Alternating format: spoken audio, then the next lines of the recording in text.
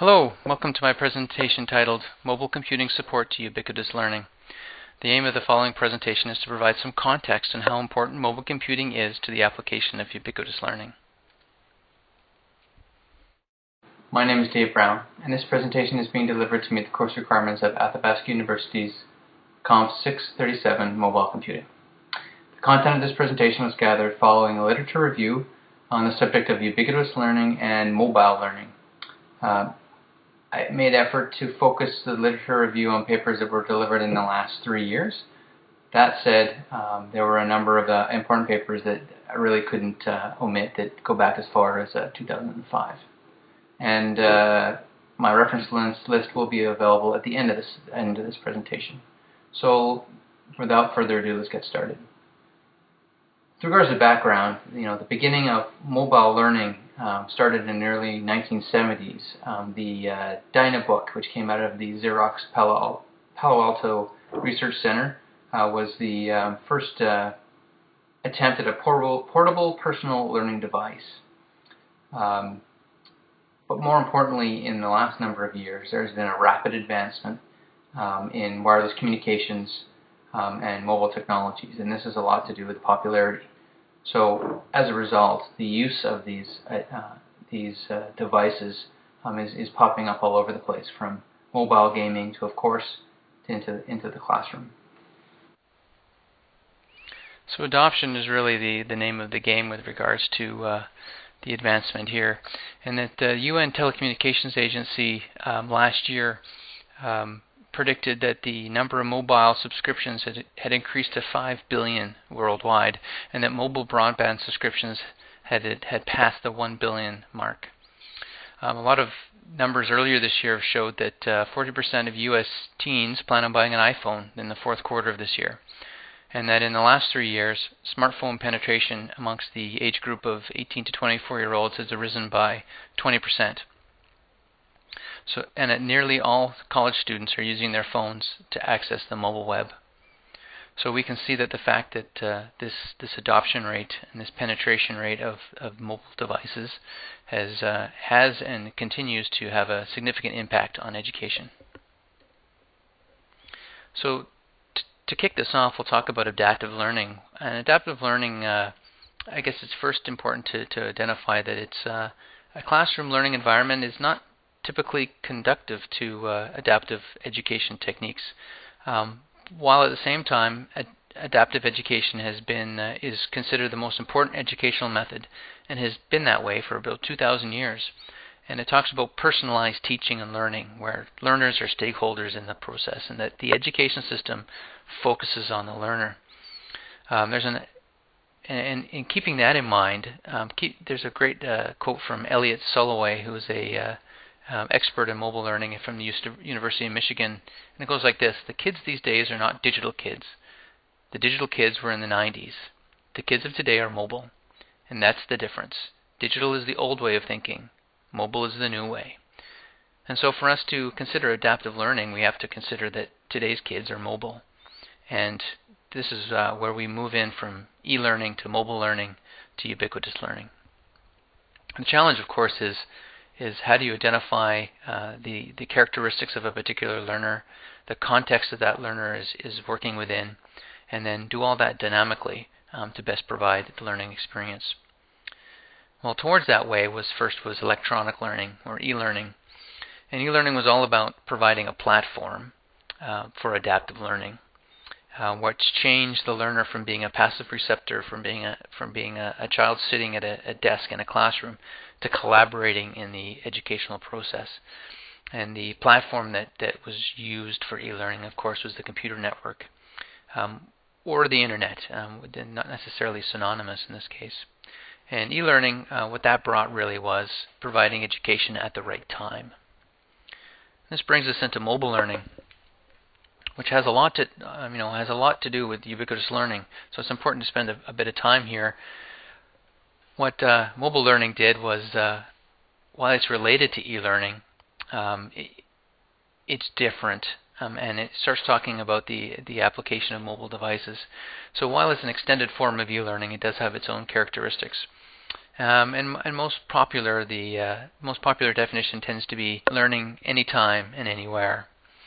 Uh, and this pops up through um, a number of the uh, formative uh, uh, research and uh, studies um, on the subject of, of mobile learning and, and, and e-learning as well. Um, now, some some definitions change slightly. Um, some of them will talk just about the fact that it's any learning that's done not at a fixed predetermined location. another definition will say that it's any it's any learning that is done with a using mobile technologies, and then some take bridge that gap to say it's both. So for the case of uh, so for the case of this, um, the rest of this uh, discussion, um, we'll consider that it, it provides mobile learning provides education at the right time and at the right place. Rather than uh, going further into the controversy of of is uh, is uh, is mobile learning only ha- only one of these at a time. Now, to do these, to provide education at the right time, at the right place, it's about uh, enabling context-aware features um, to a certain extent with mobile learning. Now, so to look at, well, what does what applications does mobile learning provide? Well, here's a here's a look at that. So first off, it's it's providing on-the-move um, learning, so that while not replacing face-to-face class, it, that students can now learn on the move and, and, complement what they do in the classroom. They can be, you know, out um, at, in a museum um, learning rather than in the classroom, or they can be in the field um, doing work. Learning can be location sensitive. Um, when when uh, when a learner goes to a particular location, that can um, can push um, educational content to that student. It provides students the opportunity uh, the learner uh, the opportunity to review um, learning materials at any time um, and review that and even take notes. Of course, uh, what a lot of uh, mobile devices initially were used for for communications. So this enables collaboration both amongst uh, amongst students and, and with their uh, and with their with their instructors and teachers. This is uh, one issue here with um, having access to the e-learning materials um, that are that are available. And of course, as uh, this tends to be one of the uh, the major um, uses right now in, in, the college format. Augmented reality is, is something that's a bit newer. Um, this is you know allowing um, the learner to see through their device, one could say, and and, then uh, over top of that um, information is, is putting the educational um, content um, to there so that uh, they are uh, they're seeing more than than uh, than just what their eyes are showing. Game is a very uh, games are a really powerful tool tool for learning, and it's, it's something that's being used uh, um, most successfully right now um, as it motivates um, it motivates uh, learning. And uh, and the last one here is reminders and schedulers. Um, simply, you know, being able to remind a student as they leave the classroom that uh, they have homework, or that uh, as they approach a library, that you know they can go and pick up that book they've been waiting for. So mobile learning is about complementing e-learning and complementing traditional learning methods. Um, it's important from a from a teaching and educator perspective um, to the technology world that all of these uh, methodologies have their own place um, and they don't replace one another. Well, this then moves us into ubiquitous learning. And what we're going to look at here is, is what is different between ubiquitous learning and mobile learning. Well, it's first important to uh, talk quickly about ubiquitous computing because really ubiquitous computing is what enables ubiquitous learning. And because of the accelerated um, and improvements, uh, accelerated development and improvements in wireless telecommunications, um, networks, um, increasing computer computing power, better battery technology, um, and uh, improved uh, software architectures. Uh, we're seeing ubiquitous computing in our daily lives. We're seeing computing being embedded into our daily lives. So ubiquitous computing not only provides information to users at any time, at any place, but it's now able to provide users the right information at the right time in a way that is best conducive to passing that to the to the user, and even selecting which users um, best get that information. So ubiquitous computing is, is what ubiquitous learning is based on. It is it is a uh, technology that drives it. So just as uh, some mobile learning had some controversies in terms of definitions, there are some definitions um, in the ubiquitous learning um, realm that, that don't quite cut the mustard, in, in, my opinion, at least as I did my reading. Um, early, uh, early, uh, one of the first definitions that was found in, in, early on in 2005 was talking about ubiquitous learning, providing anyone the anytime and anywhere by using ubiquitous computing technologies. Well, I think that's true. It's not really getting at the heart of, of how it's different from mobile learning. Um, and, and, there are even some some some definitions that essentially are exactly the same um, as uh, mobile learning. And I think as you get into it, there are some very important differences. What ubiquitous learning really is is it's the combination of mobile learning and all the benefits you get from there, as well as adding the context awareness. So these devices can assist the learner by understanding its location, its co- the surrounding context, understand the learning profile of that individual, um, and then providing the learning materials considering all of those aspects. Ubiquitous comp- computing um, supports a collaborative and situated learning approach, so that's a really big deal when it comes to ubiquitous learning. So one of the uh, one of the really interesting uh, parts that I came as I was looking through this is uh, um, one of the one of the real uh, that captures the essence of what ubiquitous learning is is a paper that was written actually by um, by some staff members at Athabasca University, and they talk about the 5R adaptation concept. And it uh, comes to here. It talks about the right time, the right place, the right things, the right way. So this is the five R's that are used that they use in there. They talk about the right time, and that's not just talking about providing learning uh, at the right date and time. It also talks about the right learning progress level. If a student uh, isn't ready for in their progress of their learning, you know, then uh, ubiquitous learning can can can assist in in that. The right location um, uh, concerned with the current geographic location of of a of a learner the right device. You know, um, this is an issue these days with the plethora of different mobile device types. Um, it's important that any um, any um, use of a device uh, to support uh, ubiquitous learning um, can support, you know, whether it be an Android um, or an iOS or a laptop, or these are all things you have to con- consider the right context. This is talking about um, making sure that the, the framework is is good for learning objects, learning activities, the learning instruction. And finally, they talk about the right learner. Um, it's important that the um, they can look into the, the, the, learning profile and the learning style. Um, you know, looking at the individuality and the personality of, of learners. So these are all things that the ubiquitous learning is about um, that that um, that can cover off that is you know that that not all of the mobile or e-learning um, c- couldn't think of. So the main characteristics of ubiquitous learning is that uh, uh, it's permanent. So le- learners will not lose their work uh, like you would in some of the other uh, frameworks. Accessibility: learners will have access to to their learning, the learning content anywhere they are. Immediacy talks to the fact that information is available immediately. Um, you don't have to wait. Um, it, it, can be uh, um, you, it can be a push pull. You don't have to wait to sync, um, you know, back in a classroom, or, and that kind of uh, um, information is there right away.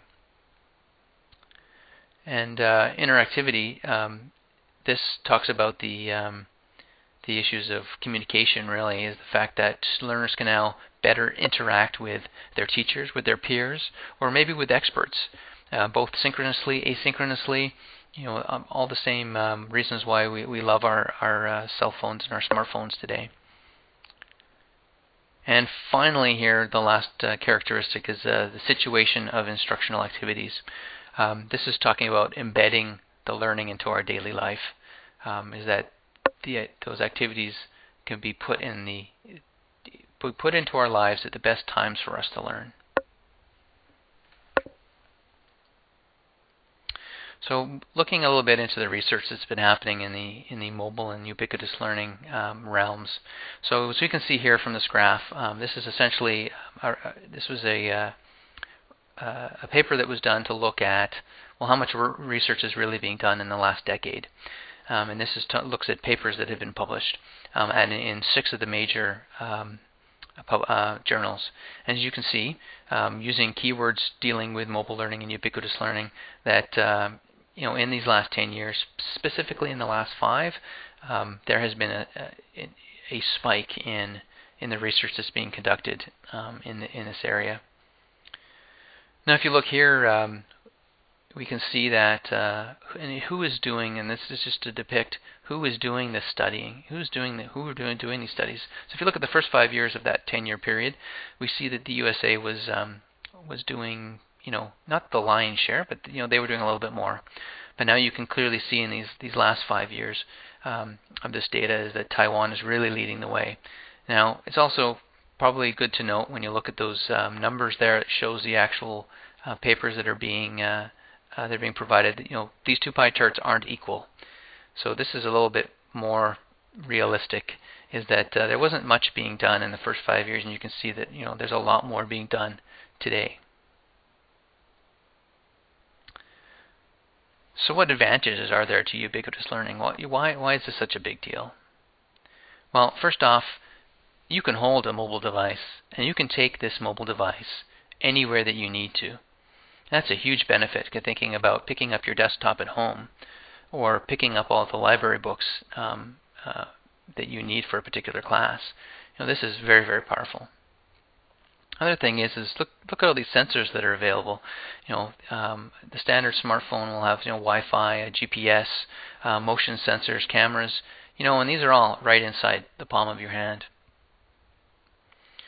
Uh, when it comes to cost, you know, the the cost of a uh, the cost of a mobile device is significantly less than what you would see for you know a desktop or a library you know a library full of books and and the money also covers over too that the the cost of of um, of getting that information of the network access is coming down as well. Another big benefit is is this is mobile. I can use this in the classroom. I can use this while walking down the street. So these are huge uh, um, huge benefits in terms of uh, um, using these. And of course, not a, I'm not the only person that has these devices. You know, my friends and my teachers and my peers, and again, these experts have them, and I can collaborate with them. I can share my work, or I can have teachers, you know, pass me that information whenever, whenever, wherever, whenever. of course, yes, there there are certainly some uh, disadvantages as well, and really these uh, disadvantages come out into three different areas. First off, we'll look at technical challenges. Um, mobile devices tend to have smaller screens. Since they're smaller, it's a little bit cumbersome often to input um, information into the devices. Uh, they may they tend to have a limited battery life as compared to something that uh, is actually plugged into the wall. The the hardware at this point um, is a little is less powerful, and data transfer. Uh, while I did say that the price of uh, broadband is coming down, it, it is it is more expensive, and in particular parts of the world that that could, could be a, a very restrictive use for for mobile uh, devices you have a restricted layout for the kinds of um, buttons or the kinds of information that you can display. Um, because of all these devices, um, um because of that penetration that we talked about uh, earlier, there can be inter- interoperability and security challenges as a result of that. Um, and sort of the last one is is the is the from a technical perspective is reworking existing e-learning materials and making them accessible by mobile platforms. So another aspect is the social challenges, and, and this one in a lot of the reading says is that technical can be overcome in time, but the social ones is going to take uh, a little bit more work. Users can first off get frustrated um, because of some of the technical problems, and if you get frustrated with the device, um, you may cease to want to keep using it. Um, location privacy, because these devices devices know where you are and, and may need to share that as a part of the learning process, location privacy concerns could be a, a big social challenge. Another issue is, is that people find that while now there's frequent interruptions um, and it's increasingly hard to, to concentrate um, on a specific task that may not be what you're being interrupted about. So that maybe you're being interrupted learning, or maybe you're interrupted doing something else in your life by learning. So it's um, something that people need to um, under, to get over. There is an accessibility and a cost barrier. Um, it talks about you know the digital divide. Um, certainly in North America, um, less of an issue, but when you look into um, some you know um, in, into certain African nations and whatnot. This, this is proving to be um, unachievable. Mobile learning and, and, ubiquitous learning is unachievable due to the uh, digital divide. Uh, there is a frequent change in the technology and the device types, um, and uh, it's important that you know um, that's a technological side, but it's more issue from a social side. Is people getting used to new technology or new new types of uh, devices, which is something that really a pencil and a pen um, or the standard computer really hasn't changed um, that different. There was always a keyboard and mouse, um, and now things are changing quite a bit when you come to talk about mobile devices. Um, there is, you know, from a social perspective, there's some pirating and copyright um, and content security considerations. Um, how much easier is it? You know, are you making sure that the, the educators that are putting the, the content there are being paid um, correctly um, for, for the use of, of that content? And the last area is the educational challenge, and this one's a harder one to, to, to cover because this is such a new new realm that um, some of the challenges have not even been identified yet. Um, but there's now no restriction to a learning timetable. You can be learning 24/7. Well, there are times when you you uh, again um, interruptions are not are not advantageous to learning. And, you know, how do you track the results uh, and how do you properly use um, um, mobile mobile devices to support this? And it's something that um, had very little work has been done thus far and really um, no studies have been done to talk about really this moves towards a what's called a lifeline, a, a lifetime of learning. Um, you're not talking about just you know school kids now. You're talking about people that are um, uh, learning throughout their lifetime, and there's very little work that's been done on that. And there is a conceptual difference between e-learning and mobile learning and ubiquitous learning, and um, the educators really uh, are still trying to grasp, um, understand that. While there's technology and, and um, uh, putting in the hands of uh, t- of both teachers and students, you have to understand that a bit more. So really, this boils down to on the educational side is there's a lack of proper learning strategies um, to assist students to acquire the knowledge using um, these fantastic new technologies. Um, and it's probably worth to note that what gets a lot of news these days when it comes to mobile phones and smartphones is the fact that countries all over the world, India, Brunei, Sri Lanka, um, even schools in Toronto and New York are banning mobile phones outright, um, where they could be used and leveraged um, in the education system. So it's time to look at a few examples here. Um, uh, just to talk briefly, um, probably one of the first uh, documented cases of uh, ubiquitous learning was the use of uh, was, was a digital ubiquitous museum in, in Tokyo in, in early uh, 2004-2005, where RFID chips were placed in various locations in various um, uh, parts of the museum, where the mobile device would then uh, be prompted when they were within the within the uh, location of that to be prompted on what that particular item was or what this part of the museum was. Um, and things have got you know that was a pretty um, a, a pretty baseline um, activity. Now things have got a lot more interesting. Um, one that, that there's a, lot of reading to, uh, to, be done on is what the is called local, and it's a learning support model. And it's uh, local stands for location and context aware learning, and it's uh, essentially an architecture um, uh, that covers off. Um, the aspects that various aspects and the characteristics that we spoke of earlier um, to deliver ubiquitous learning. Um, there's a really interesting uh, um, to read up on efforts to make Moodle mobile, um, and this was really last year. There was um, some some specific work done on that at the Mo- uh, Moodle Moot conference, um, and because really Moodle is is is a quite widespread um, software platform for uh, education, but really there's a lot of small efforts being done to make Moodle mobile, but um, nothing, uh, no huge steps have been taken forward. Um, and I know personally, from my personal experience, I, I, had wished these past number of years working with uh, that Athabasca University had provided a mobile experience, um, as that's the way that I tend to uh, to use Moodle um, even now. So, of course, uh, other examples of, of, using ubiquitous learning is is not not from a, a, traditional way, but also to allow the recording of observations. So you can you can take um, learners out to the field and you can observe. Uh, they've used been used uh, a number of times to observe and collect data in woodlands, um, uh, whether that be to um, to look at flora and fauna, um, and uh, then be able to, to comment or to uh, to to work on quizzes um, in the field. Um, there's been a really good work um, in 2009 with regards to using uh, ubiquitous learning and, and, mobile devices to support uh, learning to, su- to, effective learning support, to, to guide um, inexperienced researchers in the practice of single crystal X-ray diffusion, sorry, X-ray diffraction. Um, so this is a case of um, not imparting new knowledge, but su- but supporting um, those uh, those learners that have that have recently learned this and are actually going out and, and doing the work. I spoke a little bit about game. You know, uh, there's a lot of you, a lot of mobile devices from a learning perspective that are being using game mechanics um, to assist in learning. So it's allowing allowing the learner to collect points and to unlock achievements to make learning more fun and to encourage their participation.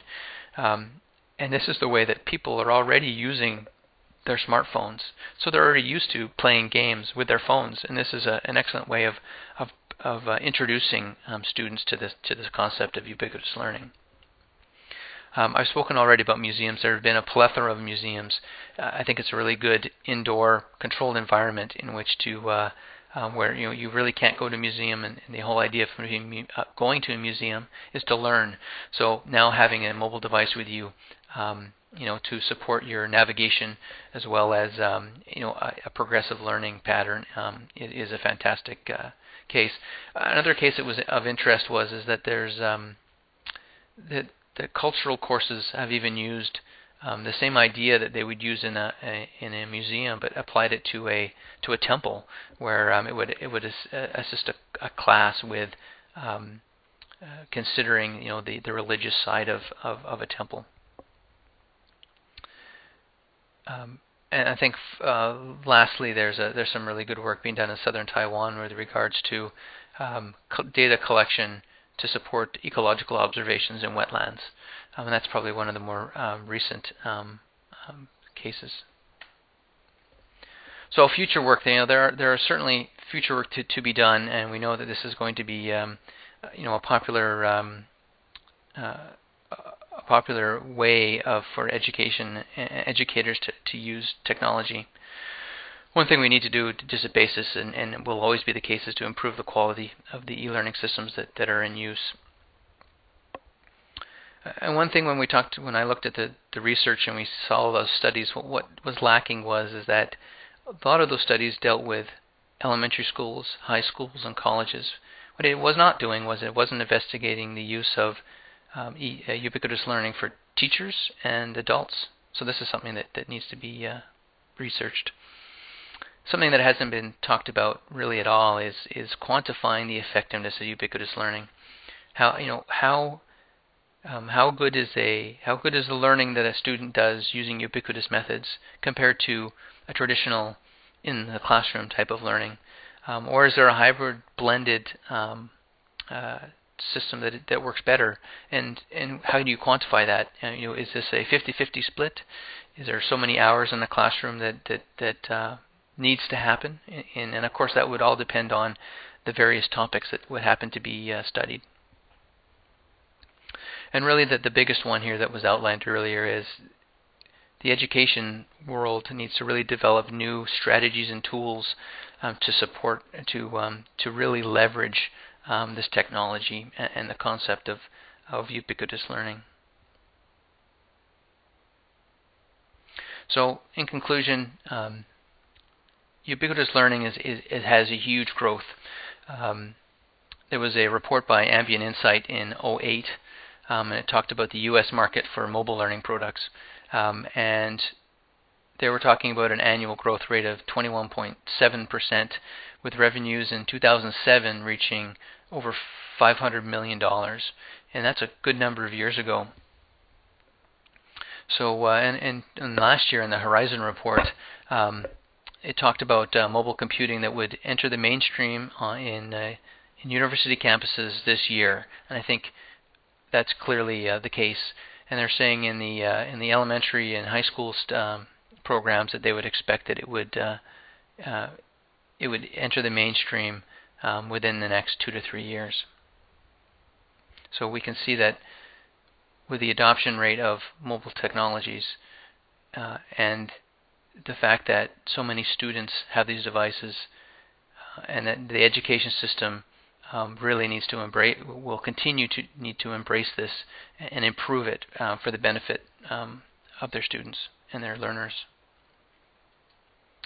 And the following two slides are uh, are the references that were used throughout this uh, throughout this presentation.